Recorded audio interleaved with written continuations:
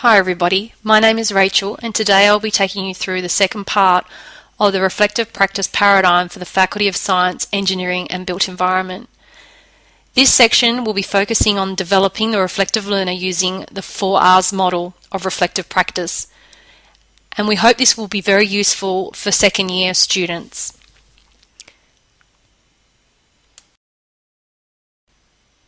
If you've had the time, you would have watched a previous video on the stage one reflective practice model, which we're hoping will be really influential for first year students and those first starting out to use reflective practice. And that's the WAT model. In this video, I want to really focus on the four R's, which is a different model for reflective practice. And we, we think that it will be more beneficial for those who have already started to begin reflective practice on a regular basis and so therefore aligned with a second year experience in the Faculty of Science, Engineering and Built Environment. So at this point, we would hope and expect that students have already practiced reflective practice using the WAT model, and now they're starting to enhance their skills in reflective practice. Which brings us to the four R's, which concentrate on reporting as the first stage, and then the second and third stage is relating and reasoning, with the final stage being reconstructing. The reason that the four R's are at this point in a second year experience of learning is because we feel that students come to learning in different ways. They have different learning styles, just as teachers have different learning and teaching styles when it comes to their students. So we want to be able to offer you a range of models that you can choose and adapt to when it comes to your assessment designs. The four R's are very uh, structured and allows a story to be told in a particular way that's quite academic. And I'll be explaining that a little bit further on in this presentation.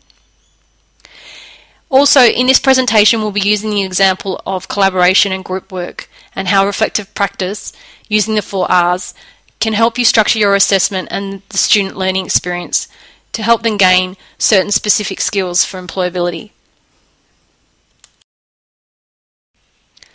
Okay, so I'm assuming that your students have practiced some reflective practice using the WAT model in their first year level learning experience and that they're going into their second year and they're starting to really develop those skills as a reflective learner. So using the four R's, are quite special because they can help order the student's thinking and writing or evidencing their particular reflective practice. It doesn't necessarily always have to be through the written expression, it can be through audio or video or even a mind map, so a creative, imaginative way of reflecting their experiences in, in a in a learning environment or a work environment. And the four R's first to report on what's going on and what the incident might be, and then to relate that to experience, emotion, and theory, and to also reason and ask questions and link that back to the theory and practice as well. And then the, the last stage of the four R's is reconstruction, which is when you put it, bring everything together into a conclusion, and the students will note the experiences that they've they've had through reflection and looking at how they can change their practice to improve in the future.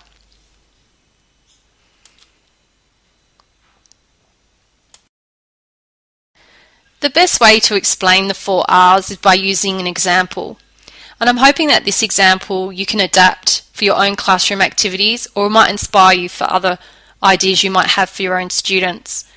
In this example, I'll be looking at interacting with others as professionals in the classroom, which uses the four R's as a reflective practice model and employability skills in relation to the developing reflective learner. So say for example you have student groups where they need to meet a client's needs or they need to create a product and you have them in groups and you would like them to practice what it would be like in the real world as professionals.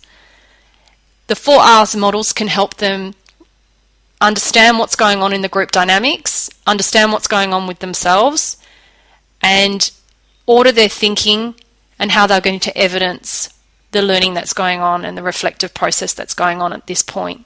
So first they would start to report what's actually happened, what the situation is, what perhaps is the group's major outcome that they need to achieve, how they will do this, how they will communicate, etc. It's a brief descriptive account of the situation and issue that's occurring in the classroom around the assessment practice.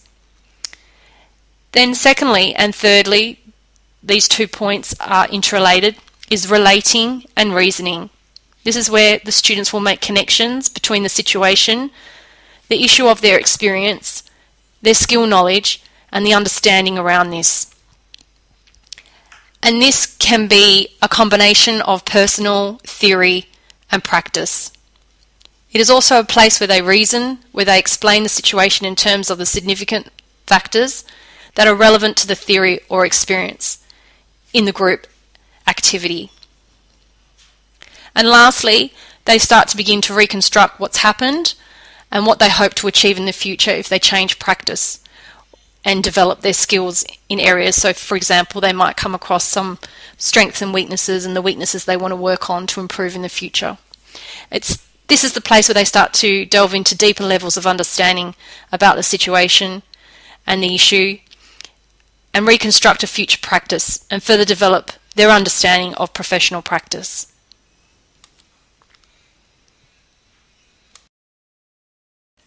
Okay, and so to make it a lot easier for you, I've also placed here in the Prezi an actual breakdown of an example that I just quickly spoke about in the previous slide on assessing students' learning from their reflections using the four R's.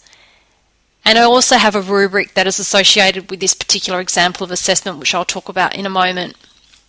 And in your own time, you can come back to this video and pause and have a look at the context the rationale for the authentic assess task and assessment, um, the artifacts that could be used to evidence this learning and the learning outcomes. And you can feel very free to use this and adapt to your own teaching and learning needs for your students. Okay, and what I find really helpful to support teachers when it comes to reflective practice and what we've all put together as part of the paradigm for the faculty's reflective practice component is different types of rubrics, and this one is specifically designed around the four R's model for reflective practice. And the criteria is set out, and you can add the weight as you go, and you can also change the criteria. But I've set the criteria out here in relation to the four R's model, as explained before, starting with report and ending with reconstruction. And then the level, descriptor levels, starts off as high distinction in level 4 and works its way down. And as you can see, the wording here changes bet between each of the different levels. And you're free to adapt and use what you need here. Again, this is just a continuation of the first part of the rubric, which goes on to reason and reconstruction. And again, the weight is something that you'll need to place in yourself. And you might want to change the wording depending on how you want to weigh the levels for each of your assessment tasks.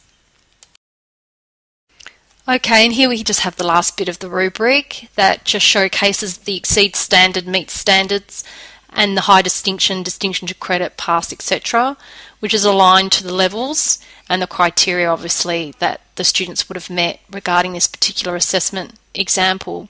There's also a list of references here that are here because these is what helped me to create this rubric based on the 4Rs model and please feel free to follow those in more detail when you have the time to do so.